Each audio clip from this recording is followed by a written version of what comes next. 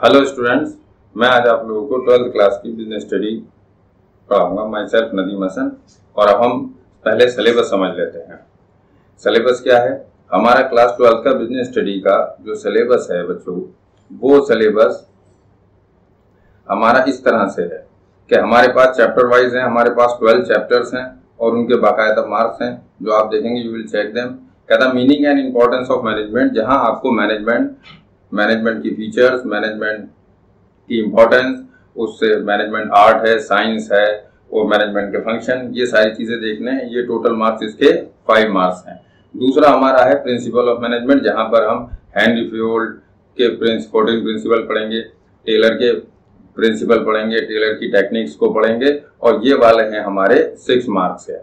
इसके बाद है बिज़नेस एनवायरनमेंट बिज़नेस एनवायरनमेंट जिसमें हम बिज़नेस की डिफरेंट एनवायरनमेंट के फैक्टर उसके micro factor macro macro factor उसका impact liberalisation privatisation globalisation social environment ये सारी चीज़ें, जितने भी एनवायरनमेंट के इसके पार्ट हैं, हम वो ब्रीफ में पढ़ेंगे ठीक? ये हम, इसके बाद है प्लानिंग प्लानिंग प्लानिंग में हम क्या पढ़ेंगे?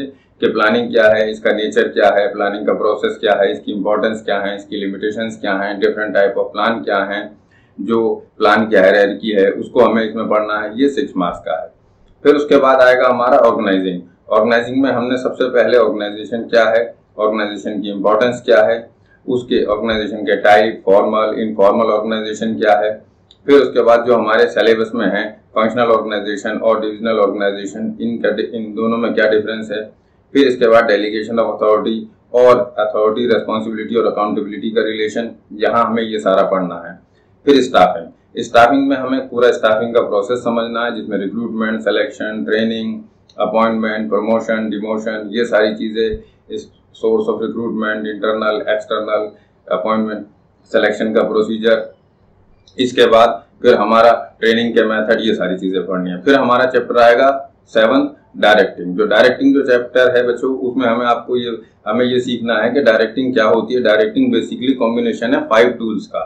जिसमें है सुपरविजन लीडरशिप कम्युनिकेशन और मोटिवेशन ये सारी चीज़ें मिला करके सारे मटेरियल में एट मार्क्स का हो जाएगा। और फिर लास्ट में है कंट्रोलिंग कंट्रोलिंग जिसमें हम कंट्रोलिंग क्या है, उसका नेचर क्या है, उसका प्रोसेस क्या है कंट्रोलिंग बाय एक्सेप्शन क्या है क्रिटिकल पाथ कंट्रोल क्या है, ये सारी चीज़ें हम पढ़ेंगे सिक्स मार्क्स की। तो यहाँ बच्चों हमारी फ़र्स्ट बुक कंप्लीट हो जाती है और इसके बाद आती है हमारी सेकेंड बुक जिसे हम कहते हैं। इसमें दो दो चैप्टर्स के कॉम्बिनेशन है।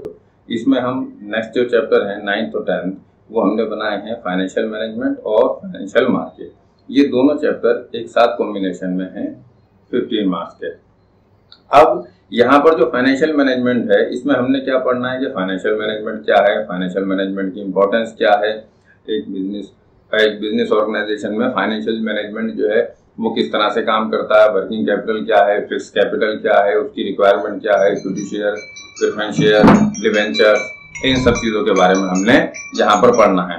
इसके बाद बच्चों फाइनेंशियल मार्केट है। फाइनेंशियल मार्केट में हमने ये पढ़ना है कि फाइनेंशियल मार्केट क्या होती है। यानी एक ऐसी मार्केट जिसके थ्रू आप एक कंपनी को शॉर्ट टर्म मिड टर्म और लॉन्ग टर्म फंड अवेलेबल होते हैं। इसमें वो शेयर्स डिवेंचर्स और मनी मार्केट के टूल्स ये सारी चीज़ें हमें इसमें डिस्कस करनी है।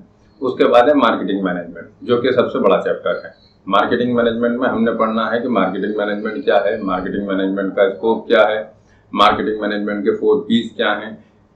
इस मार्केटिंग मैनेजमेंट के फोर पीस में प्राइस मिक्स है प्रोडक्शन मिक्स है फ़िज़िकल डिस्ट्रीब्यूशन और प्रमोशन है, फिर एडवर्टाइजिंग है एडवर्टाइजिंग के फीचर हैं, फिर एडवर्टाइजिंग का क्या इम्पैक्ट है, क्या एडवर्टाइजमेंट एक सोशल वेस्ट है, फिर हमें ये पढ़ना है फिर सेल्स प्रमोशन इसकी टेक्निक फिर सेल्समैनशिप उसके क्या क्वालिटीज होनी चाहिए, ये सब चीज़ें, फिर ये पूरा प्रोसेस है। और लास्ट में है बच्चों हमारा कंज्यूमर प्रोटेक्शन एक्ट 1986 जिसमें हमें ये बताया एज ए कंज्यूमर हमारे क्या क्या राइट है क्या क्या रिस्पॉन्सिबिलिटी है, और हमारे क्या क्या रेमेडीज हैं, अगर हमारे साथ कुछ ऐसा होता है, कोई वायलेशन होता है तो अगर आप देखेंगे बच्चों तो यहाँ पर ये शुरू से लेकर ये सारे ट्वेल्व चैप्टर मिलाकर हमारे पास हो जाते हैं एट्टी मार्क्स के। अब जब ये एट्टी मार्क्स के हो जाते हैं तो बाकी ट्वेंटी मार्क्स कहाँ है जी हमारे? तो बाकी ट्वेंटी मार्क्स के लिए आपके पास आता है आपका आपका प्रोजेक्ट है।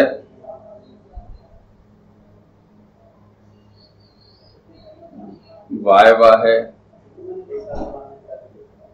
और जो आपका एक टेस्ट होगा वो है, वो मिला के ट्वेंटी मार्क्स है।